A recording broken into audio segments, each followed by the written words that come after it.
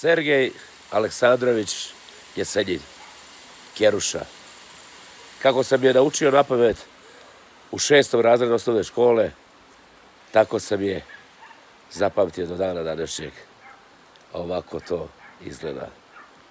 Jutro rano, gdje strn šumi lupka, gdje se beli trska u guguti, sedmoro je oštenila kučka, sedmoro je oštenila žuti, do u subra grle ih nežno i lizala niz dlaku što rudi, i slivo se mlak sok neizbežno iz tih topli materinskih grudi.